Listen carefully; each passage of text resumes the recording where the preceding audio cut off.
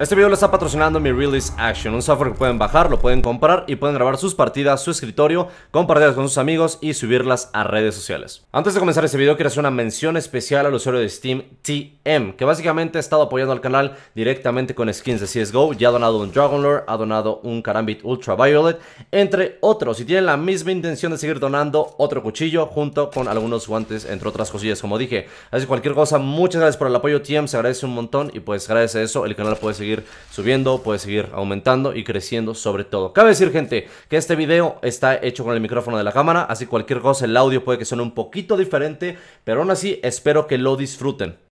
¿Qué onda? ¿Cómo están? Espero que estén muy bien el día de hoy. Bienvenidos a mi canal y bienvenidos a un nuevo video, gente. El día de hoy estamos en mi estudio aquí en, el, en la oficina, en, la, en los headquarters, gente, básicamente en la base de operaciones, donde tenemos ahora mismo la máquina de mi estudio, gente, que me han preguntado, oye, güey, este, básicamente, ¿qué tienes? Queremos verlo, queremos ver tu máquina, más o menos cómo es tu configuración. Y bueno, se los voy a mostrar, ¿de acuerdo? Estaba enfocado sobre todo porque yo subí a los 25 mil suscriptores en aquellos tiempos, gente. Subí un video al cual mostraba mi computadora, ¿de acuerdo? Mostraba la build que tenía, que era más sencilla, y ahora ha crecido. Ya tenemos una build más completa, algo muchísimo más chulo, más poderoso, y quiero que lo vean. Así que, gente, aparte de eso, va enfocado a gente que, eh, bueno, se quiere armar una máquina nueva. Si es que no tienen ahora mismo mucha idea, bueno, que se hagan idea con esto para que vean más o menos lo que yo uso y cómo es que corre, ¿de acuerdo? Así que, gente, vamos a comenzar. En primera tenemos la parte, yo creo que más importante de toda la build, de todo el setup, que básicamente es la torre. Básicamente donde pasa toda la magia, donde todo se procesa, ya saben, la torre de la computadora. Que bueno, es un case NZXT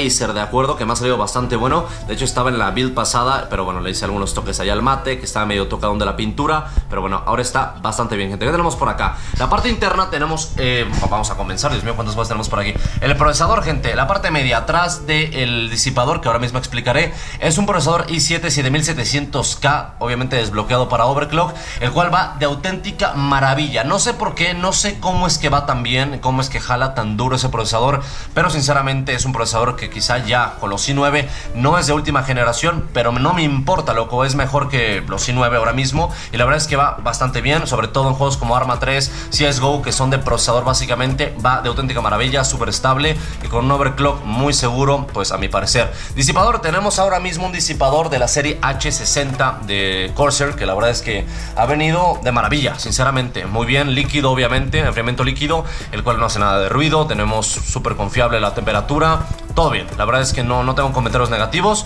Tenemos una motherboard, gente, la cual es una motherboard bastante chula de una serie nueva de Gigabyte que me encanta muchísimo. Tenemos una Gigabyte, que bueno, es, es básicamente el, branding, la manufactura, pero en modelo Aorus, gente, que tenemos eh, Z270K Gaming K7, lo cual es una auténtica locura, sinceramente. Es una motherboard muy buena que se la recomiendo por completo junto con el procesador y aparte pues vienen eh, en sinergia muy muy chula. Sinceramente la podemos ver con las lucecitas, todo súper estable, la parte de abajo ahí con ese monitor rojo que te da errores si algo pasa para que veas más o menos el código en el manual y sepas qué está sucediendo. Viene de auténtica maravilla, gente. Tenemos 16 GB de HyperX Fury en DDR4, ¿de acuerdo?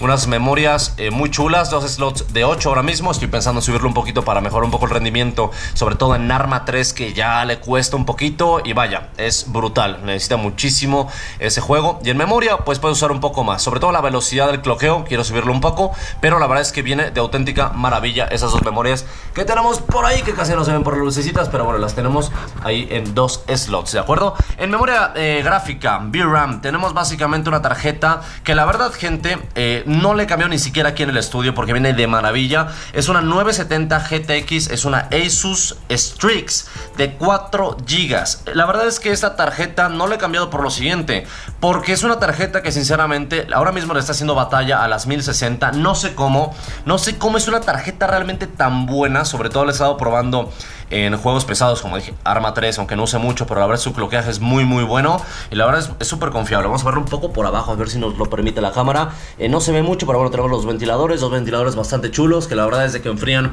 muy muy bien. Y este tubito que tenemos por aquí, eh, donde pasa básicamente el enfriamiento que tenemos por acá, sinceramente esta cosa, no sé cómo le hace que hace, vaya, circula muy bien y enfría de auténtica maravilla. Tenemos por aquí abajo, gente, los discos duros de estado sólido. Me han preguntado, loco, pero sí lo recomiendo por completo. Disco duro estado sólido, gente.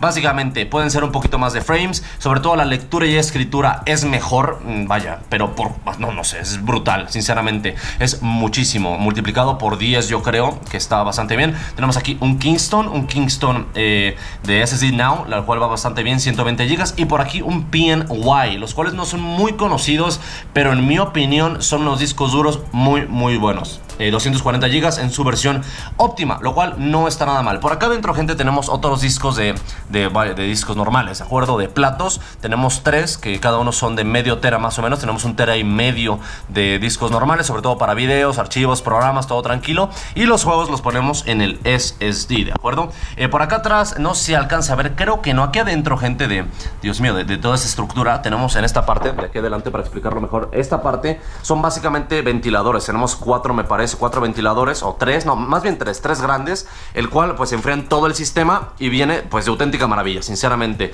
Está circulando el aire ya que tenemos el enfriamiento líquido, tenemos por acá abajo los ventiladores de la gráfica, aquí adelante estos que son eh, perpendiculares de acuerdo a todo lo que es el enfriamiento del sistema, viene de auténtica maravilla, ¿de acuerdo? Así que bueno, tenemos un setup bastante importante, bastante chulo, que la verdad nunca me ha quedado mal, y bueno, lo cambié en base a que ya había un error en la motherboard, ¿de acuerdo? Así que gente, vamos con los periféricos. Muy bien, vamos a comenzar con el teclado y ratón que yo creo que es base, ¿de acuerdo? Tenemos por aquí, es una serie de los teclados Black Widow eh, Chroma X, ¿de acuerdo? Los cuales, bueno, son mecánicos, la verdad es que siempre han sido importantes en mi setup algo mecánico. Viene de auténtica maravilla. Chroma, cambia los colores, básicamente toda la gama de colores. Tenía eh, actualmente el que era Black Widow eh, normalito, versión 2014. Era un clásico, de hecho lo tenemos por aquí arriba. Tenemos allá arriba eh, un Logitech que es de la serie G con, con LCD. Y aparte el Black Widow, ¿de acuerdo? Que de hecho, a ver si lo vemos por acá. Está, lo tenemos por aquí abajo de esta maletita de complementos. Aquí está este tecladín. Lo tenemos por ahí el Logitech, ¿de acuerdo? Así que bueno, eh, tenemos teclado Black Widow Chroma X, ¿de acuerdo? Que viene muy bien, más compacto que el del 2014, no viene nada mal. Aquí yo tengo gente, este que es un G13, un Logitech G13, lo uso mucho sobre todo en Arma, en EVE Online, que se ocupa de tener, bueno, unos key bindings importantes, lo utilizo bastante bien. Viene auténtica maravilla, sinceramente no está nada mal, la verdad es que es compacto, es, es útil, tiene su, su joystick ahí, sus comandos para poner todo el rollo, algunos perfiles, viene, viene muy bien, sinceramente ha ayudado muchísimo a lo que es el performance de, eh, de juegos más complejos, como dije, Arma 3, EVE Online, por ahí, inclusive MMOs como puede ser WoW, viene muy muy bien, ¿de acuerdo? No viene nada mal. Y por el lado de los mouse, tenemos ahora mismo un Sawi, yo utilizo este Sawi que es en su versión S2. A, que bueno, es eh, más compacto, pero me gusta. Tenemos aquí también un Bonji de Sawi, que bueno, eh, gracias por todo ese apoyo, de acuerdo, siempre a Sawi, se agradece un montón. Y también el mousepad de Sawi, que bueno, básicamente es un setup tanto de Bonji, mouse y mousepad que están en, mucha sinergia. ¿Por qué? Bueno, porque es, muy simple, es un setup muy muy simple de, de, mouse, que de hecho ahora muestro las alternativas que tengo y por qué las uso. Eh, pero aunque sea simple, es muy fuerte. A mí me gusta mucho porque, vaya, es, es ligero, es sencillo, tiene nada más aquí dos botones laterales, los cuales no, no te están fregando con, ay, puta, 600 mil botones, no. Simple, pero efectivo. Es lo que a mí me gusta de Sawi, que, que no es acá de, de vista y el rollo. Bueno, ahora mismo lo veremos, pero en sus mouse es muy bueno. Mousepad también y Bungie. Súper cómodo, la verdad es que no está nada mal. Y este es de control, sobre todo para, para CSGO, viene de auténtica maravilla. Yo ahí veo el chiquilín tenemos a un, eh, que es de control también, pero de Razer. En este caso lo uso a veces, en dado caso que estoy limpiando aquí el mouse para limpiar el polvillo y demás. Bueno, lo limpio con algo húmedo y lo cambio pues tantito al, al. Y aquí tenemos este que es, es un Naga, el cual viene bastante bien en su versión especial de Razer, que es sobre todo para MMOs, ¿de acuerdo? Eso lo uso para MMOs, lo cual viene bastante bien. Y por aquí abajo, gente, tenemos eh, nuestra Pequeña colección de mouse. Bueno, aquí es, digamos que la primera parte, la otra la tengo en la casa. Pero bueno, hay veces que yo utilizo este Dead Adder, que la verdad es que ya, lo han visto en mis streams, ya está bien acabado, ya me lo ha acabado por completo. Esa es una versión alterna nada más que de Razer del que tengo aquí arriba, que a veces lo utilizo. Lo utilizo sobre todo para streams, para escenas. Ese por acá es el chiquilín, que... Ay, ¿cómo se llama este? Dios mío, ¿cómo se llama? Oro aquí, el oro aquí lo tenemos por acá. Y bueno, este rat de Mad Cat, que bueno, ya a veces ya, casi no lo uso, ¿de acuerdo? Entonces, gente, básicamente tenemos este setup, lo tenemos por aquí, que la verdad es que es bien confiable, sinceramente compacto, si, si ven, no, ocupa mucho espacio, la verdad, y la verdad me, funciona bastante bien. No me puedo quejar, sobre todo en periféricos, yo creo que va de auténtica maravilla. Y ahora vamos con los monitores. En este caso tengo una configuración de 3, de acuerdo. Este de repente lo tengo más junto al principal, pero en este caso lo separé para mostrar aquí el, el G que ya, el G13 que ya expliqué. Pero bueno, tenemos estos tres, de acuerdo que básicamente lo estamos compartiendo, es en extendido, podemos pasar el monitor, eh, pasar aplicaciones, compartirlas entre monitores, etcétera. En principal, tengo un 144 Zowie XL2430 BenQ, es muy bueno, es especial para esports, básicamente para FPS sobre todo y RTS, viene de auténtica maravilla, por supuesto un apoyo a Zowie, claro que sí me lo pasaron por acá para probarlo.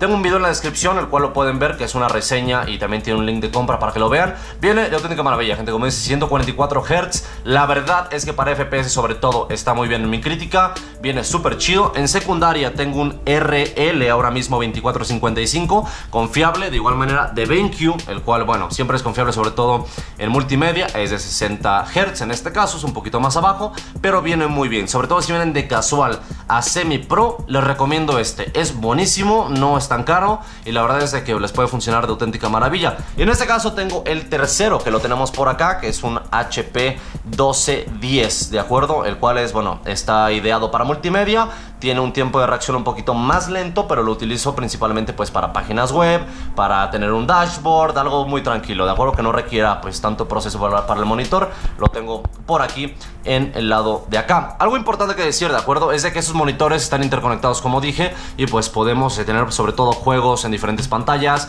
compartir las pantallas en los juegos, sobre todo que yo juego online también y Arma 3, por ejemplo aquí tengo Arma 3 y aquí tengo algún dashboard de, ítems, ¿no? Yo que soy admin de, de ciertos servidores, pues aquí tengo no sé, un dashboard como dije, que alguna página de datos y aquí el juego. Entonces, pues esta máquina que ya mostré anteriormente puede procesar todo esto. Entonces es algo bastante bueno, gente, que la verdad a mí me gusta muchísimo y pues no está nada mal. Y muy bien, gente, para terminar vamos a ver los headsets, ¿de acuerdo? En este caso yo utilizo en base para CSGO, utilizo esos que tengo por acá que son los HyperX Cloud 2, los cuales vienen bastante buenos, son en base, realmente no los estoy cambiando, pero hay veces, dependiendo del juego que yo utilizo, otros que los tenemos por acá. En este caso yo utilizo eh, unos Manowar muchas veces, ¿de acuerdo? Unos Manowar que tenemos por acá, Razer, muy chulos, eh, inalámbricos, vienen muy muy bien, esos Corsair, ¿de acuerdo? Que bueno, los uso cuando viajo, son muy cómodos, tienen dos gomitas que, me encantan.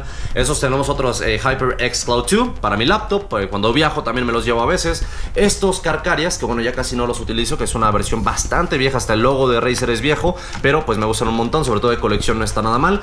Esos gente que son los ROG, que son este wireless también, son inalámbricos, que vienen justamente en par con la tarjeta gráfica de Asus, pero los utilizo mucho con mi laptop ROG también. Y eso los uso con mi celular normalmente, ¿de acuerdo? Que viene pues de maravilla. Así que gente, básicamente es el setup que tengo, ¿de acuerdo? Y yo creo que pues está bastante bien, sinceramente, no nos podemos Es un setup bastante chulo, tranquilo, pero que pues, funciona bastante bien. Sinceramente ha crecido mucho, como ustedes pueden ver. Y todos se los agradezco mucho a ustedes, a mis padres, amigos y los que me han apoyado en esto, ¿de acuerdo? Así que gente, cualquier cosa, cualquier duda aquí abajo, por favor, me gusta el video, suscribirse a mi canal, compartirlo. Nos vemos en redes sociales, Discord, por supuesto, Twitch para los directos. Gente, cualquier cosa más y nos vemos hasta la próxima.